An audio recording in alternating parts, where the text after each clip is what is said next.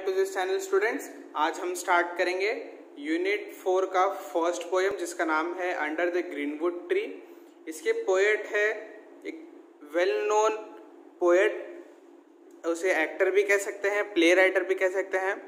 आप सभी उनको अच्छे से जानते हैं, जिसका नाम है विलियम शेक्सपियर ये जो पोएम है, ये एक्चुअली एक गाना है, एक प्ले का, जो विलियम शेक्सपियर ने लिखा था और गाया था यानी कि ये जो सॉन्ग के जो सिंगर है, वो है अमीन ठीक है, उनका नाम है अमीन ये एक प्ले जो है, जो विलियम शेक्सपियर सर ने जो लिखा था, वो एक प्ले का एक सॉन्ग है ये. ये एक्चुअली जो ये पोएम है ना, वो एक सॉन्ग है एक प्ले का, जो विलियम शेक्सपियर ने लिखे थे और उनके सिंगर का नाम क्या है?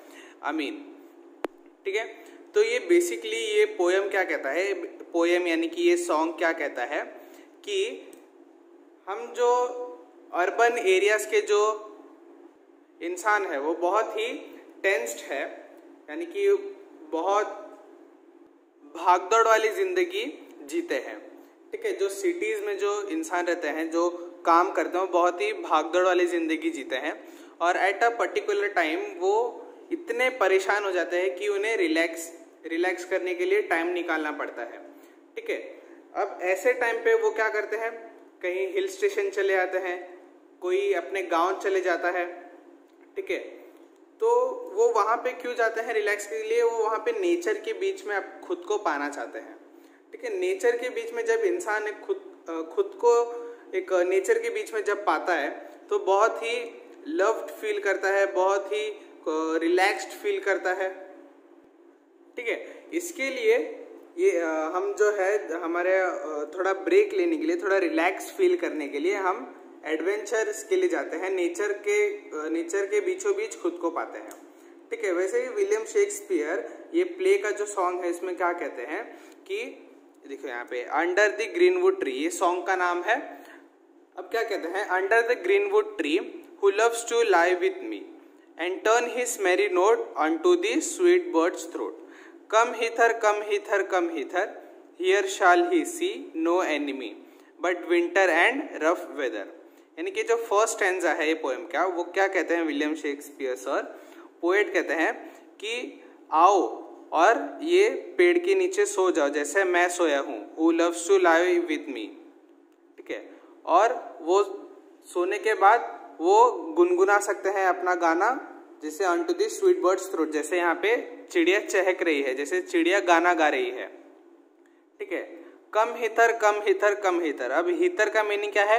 इधर एक ओल्ड इंग्लिश वर्ड है, जो हम यूज़ करते हैं हियर के लिए, यानी कि come here come here come here he shall here shall he see no enemy but winter and rough weather यानी कि जो इंसान यहाँ पे आएगा उसे कोई एनिमी यानी कि उसका कोई दुश्मन नहीं मिलेगा, लेकिन ठंडी और रफ वेदर यहाँ पे मिलेगा। रफ वेदर यानी कि जिससे उसका टेम्परेचर कभी हाई हो गया, कभी लो हो गया, ऐसा। फ़र्स्ट आंसर में क्या कहते हैं? पोएट कि आओ और ये पेड़ के नीचे सो जाओ और तुम गुनगुना सकते हो ये चिड़ियों के साथ जो खुद गाना गा रही है, उनके साथ तुम भी गुनगुना सकते हो। यहाँ आओ यहाँ आओ यहाँ आओ, यानी कि कम हितर कम हितर कम हितर तुम यहाँ पे कोई दुश्मन नहीं पाओगे, लेकिन ठंडी और रफ वेदर पाओगे। ठीक है फ़र्स्ट स्टेंजर में पोएट ये कहते हैं। दूसरे स्टेंजर में क्या कहते हैं? Who doth ambitious shun and lives to live it's the sun seeking the food he eats and pleased with what he gets. Come hither come hither come hither. यानी कि अब ये दौत का मीनिंग क्या है? थर्ड पर्सन यानी poem वो third person को कह रहे हैं। थर्ड पर्सन यहाँ पे कौन है? जो एकदम टेंस्ड है, जो रिलैक्सेशन के लिए आया है। ये है हमारा थर्ड पर्सन जो अर्बन एरिया में रहता है, वो रिलैक्सेशन के लिए यहाँ पे आया है। ठीक है? यहाँ पे ना ये सेकेंड स्टेंजा में हमारे जो पोएट है विलियम शेक्सपियर सर वो यहाँ पे क्या, यहाँ पे कंडीशंस दे देते हैं। ये हमारे कंडीशंस है। ठीक है? कंडीशंस क्या है यहाँ पे? हु डॉथ एम्बिशियस सन यानी कि जो इंसान जो यहाँ पे आएगा, वो अपना एम्बिशन यानी कि जो काम करता है, वो उसके एम्बिशंस को अवॉइड इग्नोर करके, यानी कि वहाँ पे छोड़ के ही आ जाए। जहाँ से वो आ रहा है, वो वहीं पे छोड़ के आ जाए। And loves to live this sun ठीक है? जो सूरज के साथ और नेचर के साथ घुल मिल जाए। ठीक है? अब अगर कोई इंसान जो काम करता है, वो टेंस्ड होके आएगा घूमने के लिए, क्या उसे मज़ा आएगा क्या? क्या उसे रिलैक्सेशन मिलेगा? नहीं। तो वैसे ही यहाँ पे क्या कहते हैं, जो अपना एम्बिशंस अपने जगह पे छोड़ के आ जाए, जहाँ से वो आ रहा है, यानी कि अवॉइड करे इग्नोर करे, अपने एम्बिशन को उसके रिलैक्सेशन यानी नेचर के बीच को नेचर के बीच में लाना, और वो खुले आसमान में नेचर के साथ, सूरज के नीचे आराम कर सकते हैं और उसे, ठीक है seeking the food he gets यानी कि जो उसे मिले वो खाए। नेचर से जो उसे मिल रहा है वो वहाँ पे खाए, जो उसे वहाँ पे मिल रहा है वो खाए। ऐसा बोले नहीं कि मुझे ये खाना है, मुझे वो खाना है। And pleased what he what he gets यानी कि वो उसे नेचर के बीच में जो मिल रहा है, वहीं पे उसे खुशी मिले। ठीक है come hither come hither come hither ऐसे लोग ही यहाँ पे आओ। ठीक है here shall he see no enemy but winter and rough weather अब क्या कहते हैं, यहाँ पे जब वो आएगा, उसे कोई अपना दुश्मन नहीं मिलेगा लेकिन क्या मिलेगा? विंटर और रफ वेदर मिलेगा। ठीक है, अब देख लेते हैं टोटल समरी क्या कहना चाहते हैं। फ़र्स्ट एंजा में कहते हैं कि अपना सब टेंशन छोड़ के आ जाओ और पेड़ के नीचे सो जाओ, जैसे मैं सोया हूँ। Who loves to live with me ठीक है and turn his merry note यानी कि चिड़ियों के चिड़िया जो गाना गा रही है, उनके साथ भी आप गुनगुनाओ। चिड़ियों के गाने के साथ आप भी गुनगुनाओ। यहाँ आओ यहाँ आओ। ठीक है, आपको यहाँ पे दुश्मनी या कोई आपका नहीं दुश्मन नहीं मिलेगा, लेकिन आपको कौन मिलेगा? सर्दी और रफ वेदर मिलेगा। लेकिन आपको क्या करना, आप यहाँ पे कंडीशन दिया है, लेकिन ऐसे लोग आओ जो कि अपना एम्बिशंस अवॉइड करे और जिसे खुले आसमान में जिए। ठीक है? और उसे जो भी मिलता है वो वो खा सके, कोई भी चू चू ना करे, उसे जो भी मिलता है वो उसमें ही खुश रहे, जो खाने के लिए मिलता है वो उसमें ही खुश रहे। ऐसे लोग ही यहाँ पे आए। यहाँ पे आपको कोई एनिमी नहीं मिलेगा, लेकिन कौन मिलेगा? विंटर और रफ वेदर। ठीक है? ठीक है बच्चों तो अब हम इस वीडियो का, इस पोयम का हम देखेंगे राइमिंग वर्ड्स पहले राइमिंग वर्ड्स देख लेते हैं, फिर राइमिंग स्कीम देखेंगे हम इसका। पहले क्या है? ट्री मी ठीक है, फिर नो थ्रोट फिर देखो ट्री मी और सी ये राइमिंग है। थ्रोट हितर और वेदर ये राइम हो रहा है। सेकेंड स्टेंजा में, यानी सेकेंड पैराग्राफ में sun sun eats gets okay यहाँ पे भी सी यहाँ पे कुछ राइम नहीं हो रहा है। तो हम यहाँ पे अभी राइमिंग स्कीम लिख देते हैं। ट्री और मी मैच हो रहा है, यानी कि ट्री मी राइमिंग वर्ड्स है तो ये हो गया हमारा राइमिंग स्कीम ए ए और यहाँ पे सी भी हमारा है तो ये हो गया हमारा राइमिंग स्कीम ए फिर ये हो गया, ये हो गया बी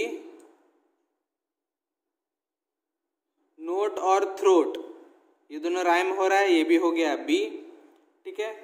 हितर और वेदर राइम हो रहा है तो ये हो गया हमारा सी तो फ़र्स्ट एंसर का क्या है? Rhyming scheme A A B B और क्या है? ए ए बी बी सी ए सी ठीक है? तो बच्चों सेकेंड स्टेंजा का हम देखेंगे राइम स्कीम सन और ये सन राइम हो रहा है तो इसको दे देंगे ए ए और ये ईट्स और गेट्स हो रहा है राइम तो इसको दे देंगे हम बी और बी ठीक है? तो सेकेंड स्टेंजा का क्या हो गया? ए ए बी बी ठीक है बच्चों? तो हम देखते हैं यहाँ पे कुछ figures of speech first answer में फिगर्स ऑफ़ स्पीच आप देखेंगे तो आपको सेकेंड लाइन में मिलेगा लव्स और लाई लव्स और लाई में क्या कॉमन है? ल और ल. ठीक है? ल और ल, ये दोनों वर्ड क्या हो रहे हैं? सेम प्रोनाउंसर है तो ये किसमें आएगा एलिट्रेशन में आएगा. ठीक है? अब दूसरा एग्ज़ाम्पल हम देखेंगे तो बहुत ही सिंपल सा देखो यहाँ पे. कम हितर कम हितर कम हितर. ये बहुत ही इजी है, बहुत ही सिंपल है, ये देख के आपको पता चल गया होगा ये कौन सा फिगर्स ऑफ़ स्पीच है। ये है हमारा रिपीटेशन ठीक है, यहाँ पे लिख देता हूँ मैं, ये क्या है हमारा रिपीटेशन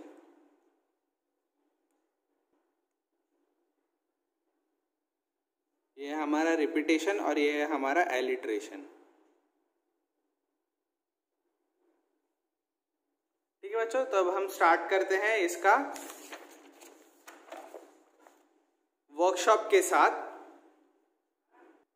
तो ये आ गया हमारे आंसर्स अब मैं आंसर्स को एक्सप्लेन कर देता हूँ। फ़र्स्ट वर्कशॉप पे क्या कहता है? From the poem find the old word use for the each of the following यानी कि हमें यहाँ पे मॉडर्न इंग्लिश में लिख के दिया है हमें। इसमें ओल्ड इंग्लिश में फाइंड करके लिखना है पोएम से। टू वर्ड्स का मीनिंग uh, क्या है? uh, यहाँ पे यानी कि नज़दीक। तो यहाँ पे क्या हो गया? इथर ईयर का मीनिंग भी मैंने पोएम में बता दिया था। उसका मीनिंग भी होता है इथर डॉथ यानी कि डस। ठीक है? डॉथ यानी कि दस और दस यानी कि डॉथ। दोनों भी एक ही हो गया बच्चों। सेकेंड क्वेश्चन का आंसर मैं आपको लास्ट में बताऊँगा। ठीक है? तो आगे बढ़ते हैं हम तीसरे की तरफ़ थर्ड क्वेश्चन की तरफ़। यहाँ पे क्या कहता है? Pick out the lines that means यानी कि हमें हमें इसका मीनिंग दिया है और इसका हमें पोयम से उसका स्टैंडा उठा के लिखना है। ठीक है? यहाँ पे क्या कहता है? Singing sing in such a manner इसका यानी इसका मतलब क्या है? टर्न हिज मेरी नोट ठीक है? One who wishes to join me अब पोएम में इसका मतलब इसका क्या मीनिंग लिखा है? यानी कि पोएम में इसे क्या लिखा गया है? Who loves to lie with me ठीक है? Who gives up his desire for wealth power fame etcetera gives up यानी कि छोड़ के आना. ठीक है? छोड़ देना. किसे छोड़ देना? वेल्थ पावर और फेम को. इसका मतलब क्या था? हु डॉथ एम्बिशियस सन जो यहाँ पे मैंने डॉथ का मतलब बताया था, यहाँ पे डॉथ का मतलब क्या है? डस ठीक है, वो थर्ड पर्सन को क्या कहता है? यानी कि यहाँ पे क्या कह रहा है? थर्ड पर्सन थर्ड पर्सन को कि तुम अपने सारे डिज़ायर को डिज़ायर छोड़ के आ जाओ, जैसे कि वेल्थ पावर और फेम को छोड़ के आ जाओ। ठीक है? Life in the forest is free from ill wishers यानी कि here shall he seen no enemy इसका मतलब है कि यहाँ पे फॉरेस्ट में कोई भी आपके इल विशर्स यानी कि कोई भी नेगेटिव पर्सन आपको यहाँ पे नहीं मिलेंगे, कोई भी आपका एनिमी यहाँ पे नहीं मिलेगा। Happy to eat whatever he can get यानी कि जो भी उसे मिल जाएगा वो उसमें हैप्पी रहेगा। तो उसका क्या लाइन था पोयम में seeking the food he eats and pleased with what he gets अब हम बढ़ेंगे क्वेश्चन फोर की तरफ़। Find from the internet and write down first question क्या है? In which century did William Shakespeare write his famous play. कौन से century में लिखे थे? ये वाला ये वाला पोयम यानी कि ये play late sixteen century to early seventeen century अब ये जो जो टाइम गैप है ना late sixteen century to early seventeen century इस ये टाइम गैप के बीच में ना सर ने, यानी कि विलियम शेक्सपियर सर ने टोटल थर्टी सेवन प्लेस लिखे थे. कितने लिखे थे? ये आपको जीके के लिए बता रहा हूँ मैं. टोटल थर्टी सेवन प्लेस लिखे थे. आगे बढ़ते हैं। From which play is this song extracted यानी कि कौन से प्ले से ये सॉन्ग एक्सट्रैक्टेड था? एज यू लाइक इट यानी कि प्ले का नाम क्या था? प्ले का नाम क्या है? एज यू लाइक इट इसके ऑथर कौन है? यानी कि जो लिखा कौन है? विलियम शेक्सपियर सर ने। ठीक है? Which character from the play sings this song यानी कि कौन सा ये प्ले का जो कैरेक्टर है वही गाना गाता है। वो कैरेक्टर का नाम क्या है? एमिनी ठीक है? ये कैरेक्टर भी है और कौन है? सिंगर है, क्योंकि ये कैरेक्टर जो है एमिनी यही गाना गा रहा है, ये प्ले में। ठीक है? तो देखते हैं क्वेश्चन टू यहाँ पे क्या कहा है?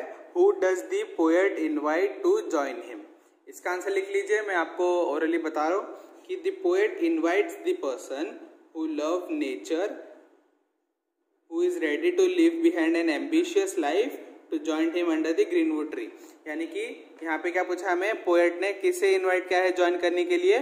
जो अपने एम्बिशियस को छोड़ के आ सके। देखो, यहाँ पे है who gives up his desire for wealth power fame etcetera जो ये सब छोड़ के आ जाएगा, उसे ही ज्वाइन करने कहा है। तो ये ये पॉइंट आपका हो गया आंसर ठीक है?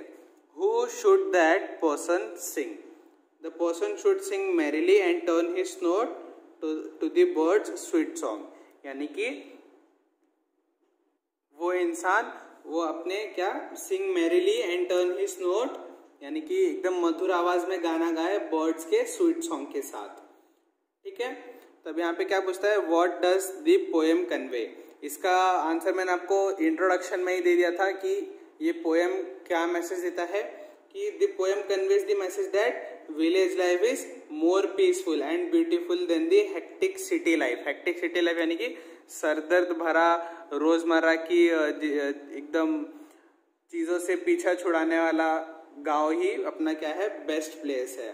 ठीक है? It also suggest that we must stay close to our roots यानी कि हम अपने फॉरेस्ट यानी कि अपने नेचर से बहुत नज़दीक जुड़े रहें। ठीक है बच्चों? तो ख़त्म करते हैं इस वीडियो को। मिलेंगे हम दूसरे पोएम या चैप्टर के साथ। तब तक के लिए टेक केयर और आपको ये इंट्रोडक्शन ये एक्सप्लेनेशन पसंद आया हो तो लाइक कर देना चैनल को सब्सक्राइब कर देना। ठीक है बच्चों?